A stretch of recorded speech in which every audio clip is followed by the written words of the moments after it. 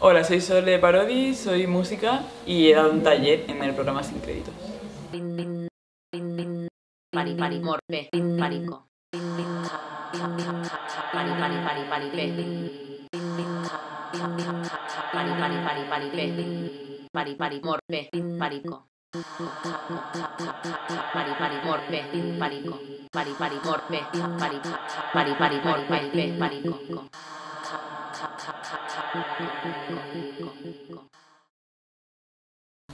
Bueno, cuando, cuando me planteé cómo hacer el taller, sí tenía claro que iba a ser en torno a sonido, a, trabajar mucho con, con, lo sonoro, que para, bueno, a mí siempre al final me acaba llevando a lo musical, porque yo me dedico sobre todo a la, a la música.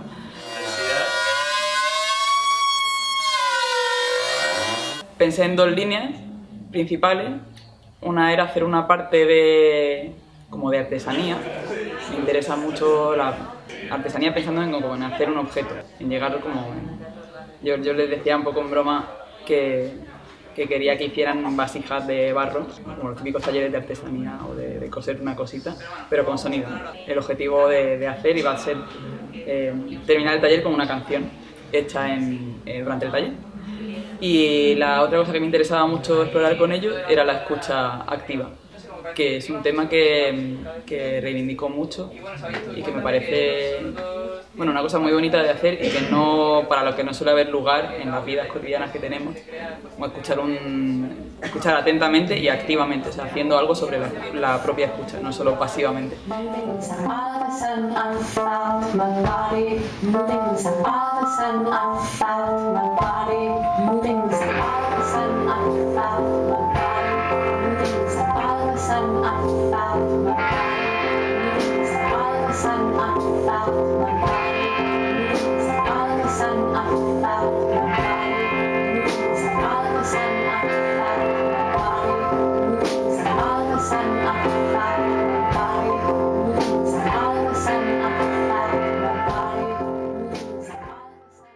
Propuse dos cosas bien distintas, como casi opuestas.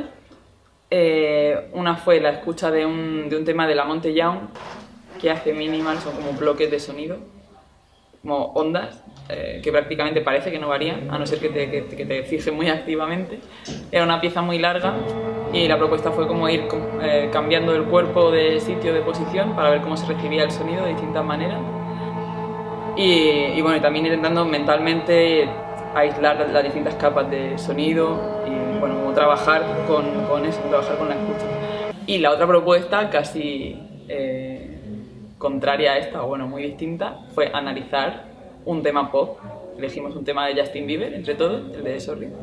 Y, y bueno, pues fue como analizar estructuras, sonidos y hacer al final como elaborar una especie de partitura a partir de lo que habíamos analizado, de cómo habíamos analizado que funcionaba el tema. Entonces, bueno, esas fueron las propuestas de, escuchar, de intervenir con la escucha, intervenir en el, en el tema que estás escuchando. Y, y bueno, era, es, ha sido mi primer taller para adultos, así que también toda una experiencia para mí. También quería vivir la experiencia yo también con ellos en primera persona, entonces la mayoría de las propuestas no sabía qué resultado iban a tener, nunca he hecho una escucha de ese tipo con más gente, ni, ni, he, ni en realidad he utilizado mucho los programas con los que les he indicado que podían editar el sonido. Y bueno, me, me, me parece interesante proponer como una, una experiencia pedagógica así un poco más horizontal que, que las que yo he estado acostumbrada o, tenía que... Y, está muy bien. Yo me lo he pasado muy bien.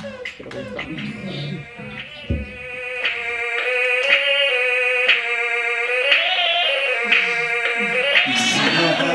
Para, bueno, para la parte más de artesanía, de hacer una canción así de, de cero en el taller o un tema, eh, pensé que, bueno, pensando un poco en cómo trabajo yo, que es lo que he intentado traer o, o enseñarles para, partir de ahí, de mi experiencia, eh, pensé que lo primero que había que hacer era una paleta de sonidos con los que trabajar y ya que estamos pensando en torno a la celebración, pues partimos de, de hacer una, una paleta de palabras a partir del relato de una celebración.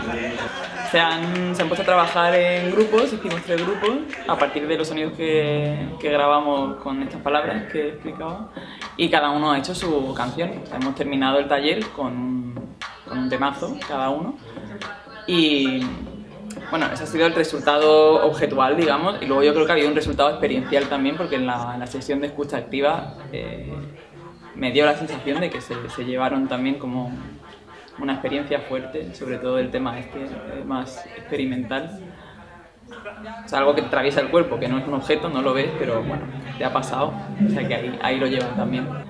Y eso han sido los pues yo estoy muy contenta con la experiencia de haber dado este taller.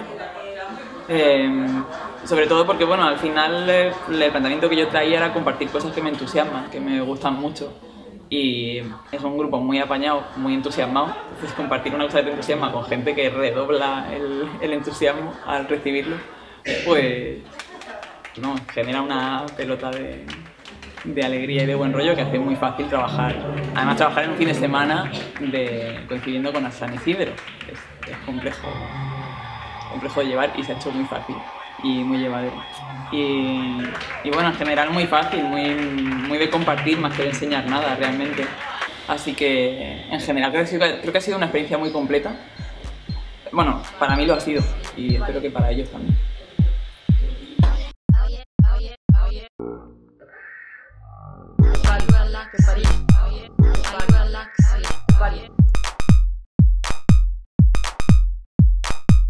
Ayualaxia.